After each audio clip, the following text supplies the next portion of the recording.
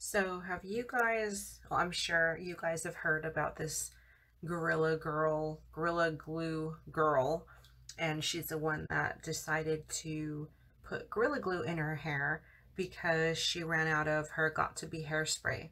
Now, a lot of people are saying, um, oh, she did it on accident. Anybody could make a mistake. She deserves all the fame she's getting for it, blah, blah, blah, blah, blah. But I have to disagree. So she has actually said, sorry for my face, um, that's why I'm using the other filter. I'm about to take a shower and my makeup is not very good and I'm gurgling because I ate. Anyway, um, she said that she knew what she was doing and she thought that the product would be safe because it says on there not for use on um, skin and clothes and things like that. Um, it says other things, you know, um, it's obvious what glue was used for and what it should not be used for. And she assumed that, oh, it didn't specifically say hair, so it's okay for me to use it on my hair. It wasn't. And so now because of that, she has made a GoFundMe where she has raised about over $19,000 so far. And um, she is talking about suing the company. The company has spoken out and offered their, you know, their well wishes and apologies or whatnot. And people are urging her to sue them because they didn't specify it wasn't for use on hair. Like $19,000 isn't enough for you. You have to go and talk about suing the company because of your own stupid mistake as well. And you know, this country is already sue happy. People here sue for everything. Like my dentist actually told me that they won't, that's the reason they won't give me fillings and crowns and the things that I need without me having to pay about $900 after insurance um, to get a full mouth clean. They won't do that because they might get sued.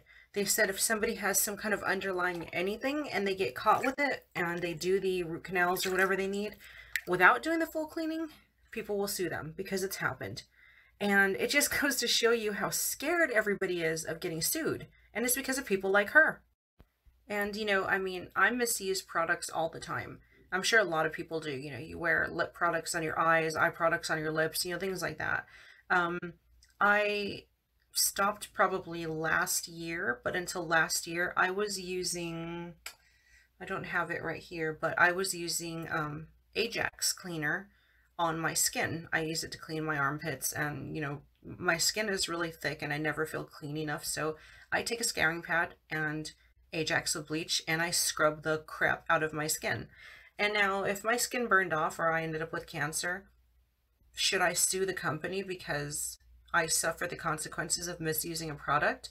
Or should I be a grown up and take responsibility for the fact that I misused a product? Hmm. And in that, in this case, um, I really don't care who agrees with me or not. Um, as always, these are my own opinions. And I just think the fact that, I mean, she has raised so much money. I mean, I've tried to raise money in the past for animal emergencies, you know, um, kittens almost dying or trying to get them, you know, taken care of when we weren't working and stuff. And, um, or to come see my mom, you know, before she died or the very few times I've asked for help, um, it's mostly flubbed. If it wasn't for my subscribers, I wouldn't have I wouldn't have had anything. You know, I tried to raise money for LASIK in the past and I mean medical stuff and it doesn't matter. Nobody nobody looks at the serious stuff. Hardly at all. Not unless you become famous or you go viral for something. So it's like, hmm, should I eat dog shit and then sue the dog because um, it made me sick? Sue the dog's owner for letting her animal shit on the floor? Like, oh hey, I didn't know I wasn't supposed to eat random dog shit that I found laying on the ground. How dare you let your dog shit? You mean it wasn't made for that? It wasn't made for eating? And I got sick and my hospital bills are my own responsibility? Whoever heard of that? I mean, the only way you can get anything done nowadays is, is if you become viral for doing something stupid. And I really can't stand that that's the way of the world nowadays. I really, really, really, really hate it. And seeing how everybody's like giving her condolences and money and interviewing her and all this for something so dumb wants me to face, like, it makes me want to face palm myself to death. I think that if you become famous, it should actually be for something significant and worthwhile, not being a fucking moron.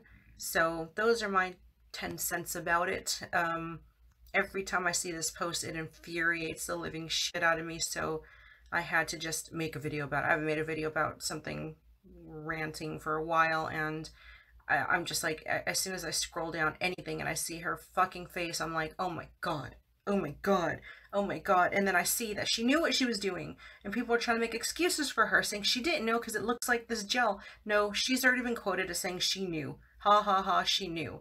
So who's the clown now? Not her. She's rich now. I mean, she's got fucking bank because of you guys. Not you, but you know, people. and now I just saw online that she she just got a surgery to get her hair unstuck. It's a $12,500 surgery that she got for free. Last time I checked online um, at her GoFundMe, she made just under $20,000. She um, probably by now would have made between 20 and 25,000 at least, and she still got the surgery for free. She could have afforded it. Isn't that what the money was for?